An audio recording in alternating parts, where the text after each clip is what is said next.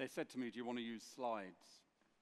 I haven't used slides for 15 years. The last time I used slides, I ran IPPR, as a think tank.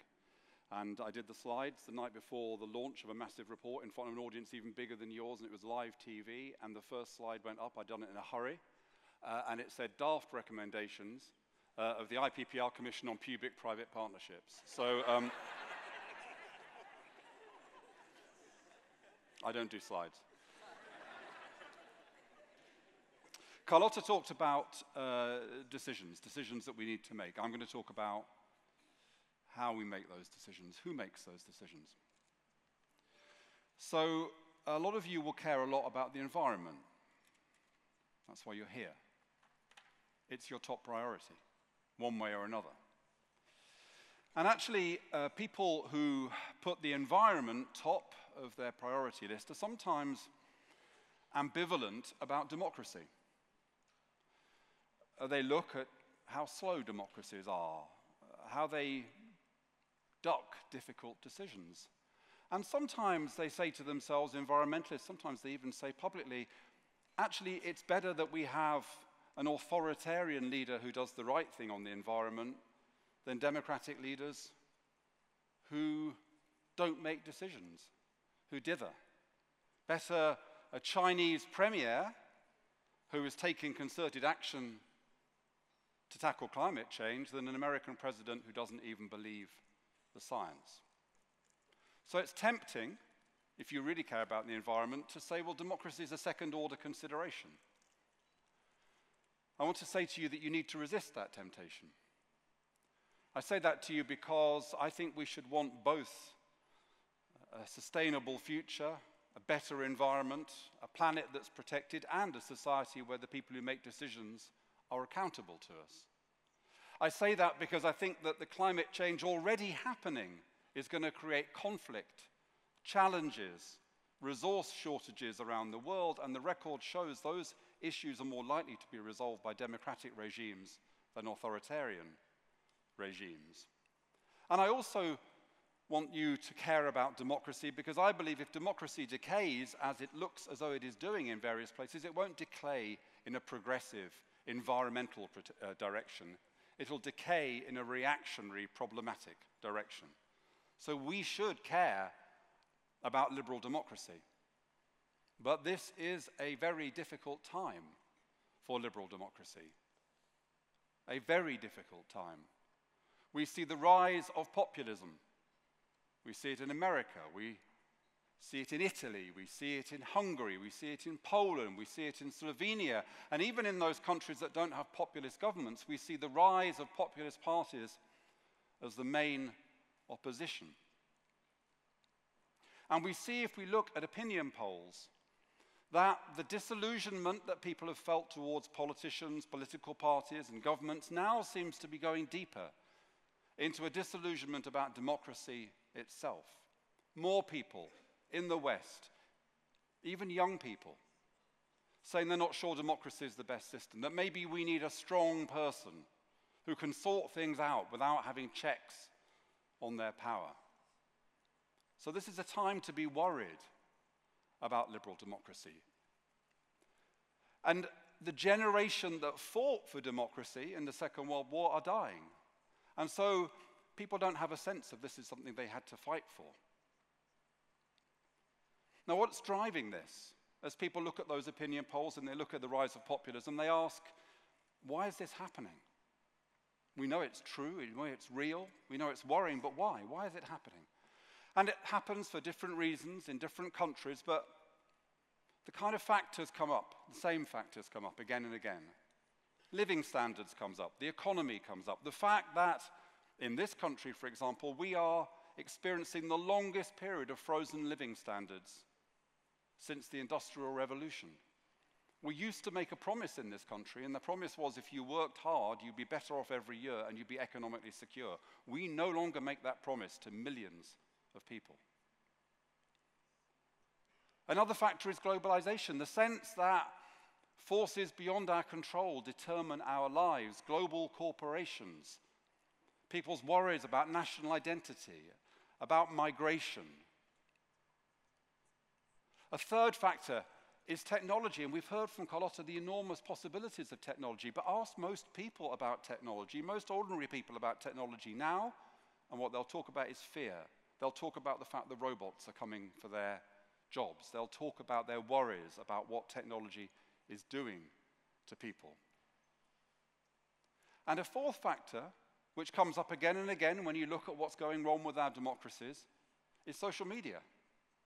Is the fact that we have political discourse taking place through a set of platforms and processes almost designed to stop people talking to each other and instead to talk to people who agree with themselves. And so, the one thing we know about social media is it doesn't really change your mind, but what it does do is if you have an opinion, it makes you believe that opinion even more strongly. It makes you have even less sympathy for people who don't believe in that opinion. It makes you more willing to mobilize behind the uh, views that you already had. Now, those issues how it is we make technology work for people, how it is we tame certain elements of globalization, give people a sense uh, of agency, what it is we do about social media, how it is we get the economy back on track so ordinary people's living standards can increase. These are all difficult issues. But none of them are going to go away. Not anytime soon. So, if these are the things that are driving the rise of populism, if these are the things that are driving people's disillusionment, people's willingness to consider alternatives to democracy, then the future looks, if anything, bleaker. It looks worse because those things that are driving that are going to continue. So, what do we do about this? Well, a lot of people are reflecting on it. There's an explosion in books about the crisis facing liberal democracy. And some people say, well, maybe it's a good thing. You know, maybe the elites need shaking up. After all, when we had the kind of consensus, the Clinton, Blair, Schroeder consensus, we didn't tackle inequality, we didn't really tackle climate change. You know, populism is a, a shock to the system. The system needs to be shaken up. You know, things couldn't get worse. I don't agree with that. I think things could get much, much worse. And the thing about populism is yes, it's popular. It's popular because it promises the earth. But as Carlota said, it doesn't really tend to deliver that. And what often happens is when populists don't deliver on their promises, then you see their true nature. Then you see the authoritarianism come out. So I think it's complacent to say, well, this is just a shock to the system. The elite needs to be shaken up. There's another view. And this view is, well, look, you know, most of the history of the human race, we haven't had democracy. It didn't last for that long in ancient Greece. Maybe it's just going to fade out. Maybe we don't need democracy in the way that we did in the past. Maybe we can get on with things in other ways. But my question then is who's going to make the decisions that Carlota was talking about? If democracy goes, where will the power lie? And you may hate politicians, but do you want the world run by Mark Zuckerberg? Do you want the world run by Jeff Bezos? Is that your vision? So, you know, democracy must change, but if democracy fades, it won't be that there isn't any power, it'll be that the power lies with people who are not accountable. So, I want to suggest to you a third perspective, a third way of thinking about this challenge that we face the challenge to the future of liberal democracy. And what I want to suggest is well, it's a bit of a humdrum solution, really. It's maybe a bit boring. I've only got six minutes to go, so you'll just have to put up with it, to be frank. I want to argue that we should keep the foundations of the representative democratic system. That is a system that has, after all, delivered us enormous progress. It is still, despite everything, better to be alive now than at any other time. So I think we should keep those foundations. I don't think we should be pleased to have them swept away. I don't think we should be complacent. I think we should keep them. But we need to build a different structure on top. And so I'll tell you a couple of things I think we urgently need to do if we are going to save and revivify our democracy. The first is we have to devolve more power. All across the world, mayors are more popular than presidents and prime ministers. If you go to America, state government poisoned federal government poisoned, but yet in cities, mayors get on. They don't have the same sectarianism. They just get on, they do things. People prefer local power. When there's a blizzard, national politicians set up a committee, local politicians get out a shovel. When there's a problem, national politicians spend years passing a law, local politicians get entrepreneurs, charities, communities into a room and say, What can we do to make our city better? So the first thing we should do is devolve power. And don't forget, who was it who led on climate change when the nations were dithering? It was the mayors all around the world. It was the mayors who moved first. And many of in the innovations that we want started and have started in cities.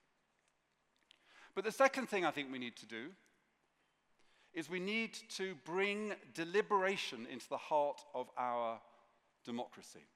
You see, I think part of what's gone wrong is this that representative democracy has got fundamental flaws. Now, we papered over those flaws. When it was bringing home the bacon, when we were getting better off every year, we didn't kind of mind, we put up with it. But now those flaws are intolerable to us. And the first flaw of representative democracy, the system that we have here in most of the West, is that it provides an incredibly blunt mandate. You know, we're used to having choice. We're used to making choices all the time. And here we have a system where every five years, you know, we get to choose a group of people who will then make all the decisions for us. Now imagine this. You, maybe you like your supermarket. Imagine if we had an election every five years for our favorite supermarket, and the one that won with 30% of the vote was the one you had to go to every week, and they could decide what to put in your basket. You would hate supermarkets. So representative democracy is an incredibly blunt mandate. That's the first problem. The second problem is this. The second we elect someone as a representative, in a sense, they cease to be representative because they become full time politicians. And full time politicians are kind of different people. They are, for example, terrified about activists in their own party. And I can tell you, party activists are a strange group. I mean, I've been one most of my life. Party activists are strange people. So the second we elect somebody as a representative, in a way, we're right to say they no longer are a representative of us. They're a different race. They're professional politicians. They live in a different world. It's not a very nice world, to be honest, but that's the world they live in. So that's why I think the second thing we need to do is we need to bring deliberation to the heart of our decision making. And it works. So I'm talking here about things like citizens' juries, where you gather together 24, 30 citizens, you bring them together for two or three days, you give them a, a challenge. Should we legalize cannabis? Should we bring in road pricing? What do we do about the funding of social care? And these experiments have been used all over the world, from Ireland to Australia. And you know what happens? It turns out ordinary citizens are brilliantly capable of making clever decisions. Ordinary citizens are very capable of reaching a consensus. Ordinary citizens start off saying that they are terrified, they can't do it. At the end of the three days, they say, That was wonderful, I want to do it again. It works, it works, but we keep it at the margins. And I want to say we need to bring deliberation to the heart of things because it will help address those two problems. It will provide politicians with a mandate for doing tough things. I'm not saying that you devolve the decision to the citizens' jury, but it can enable a politician to get up and say, look, this tough thing I'm doing, introducing road pricing, banning plastic, whatever it might be, I'm doing it because we asked ordinary citizens, people like you, and they said we should do it. And so we're going to do it. We've got a fresh mandate. And also it means that those citizens in those citizens' juries, they are representative. They are like us. They haven't turned into professional politicians. What is the one institution in our society that hasn't been subject to reputational assault in the last few years? It's the jury, because the jury has this beautiful, simple idea that we all hear when we hear a verdict, even if we didn't expect the verdict, we think, well, if I had listened to the evidence, I would have reached the same conclusion too. So we need to bring deliberation to the heart of our system. And the good news is this when you undertake deliberation, certain things, because we've done it all around the world, the problem is we just do it at the margins. We need to bring it to the heart of things. The same kind of things turn up. So if you ever discuss criminal justice in a, in a citizen's jury anywhere in the world, people go in as Daily Mail readers and they come out as Guardian readers because they get to know the facts. Secondly, if you have a citizens' jury anywhere in the world, people go in saying it's all the government's fault, and they come out saying it's tough for government, but actually it's a bit to do with us and how we need to behave. And thirdly, if you ask citizens to reflect on a long term challenge, they are much braver than politicians in saying we need to act for the long term.